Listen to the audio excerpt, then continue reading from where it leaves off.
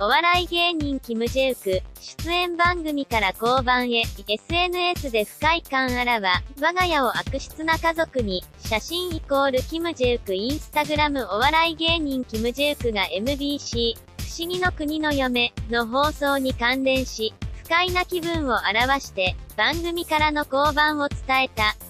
キム・ジェウクは8日午後、自身のインスタグラムに、我が家を悪質な家族にしている、で始める書き込みを掲載した。彼は、仲睦まじい家族への、オファー、ありがとうございます。撮影をやめたからでしょうか。もう少しだけ穏やかに書いてくれたら、僕が黙々と何も答えないさつまいも、もどかしい状況の例え、夫にはならなかったはずなのに、と話した。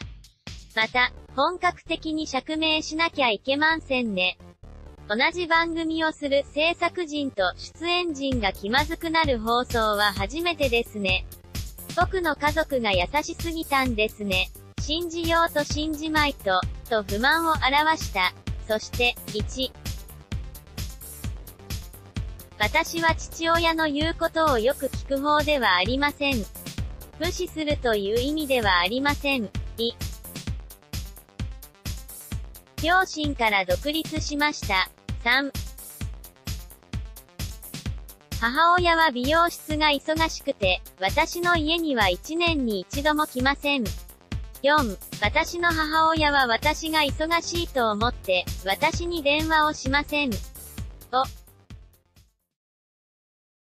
if, 規模の許可をもらって番組を始めました。6. 番組にキャスティングされる前に帝王切開確定。7。私は父親の言うことをよく聞く方ではありません。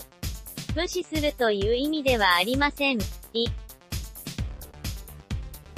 両親から独立しました。3。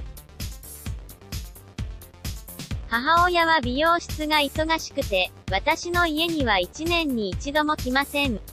4. 私の母親は私が忙しいと思って、私に電話をしません。5. if, 規模の許可をもらって番組を始めました。6. 番組にキャスティングされる前に帝王切開確定。7. こんなことを書いている状況がおかしくて悲しいです。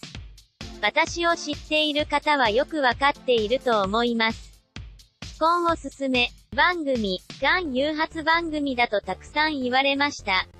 私の家族のせいだと、番組を見ながらストレスを受けた方々には申し訳ありません。番組を見る目がまだ足りないですね。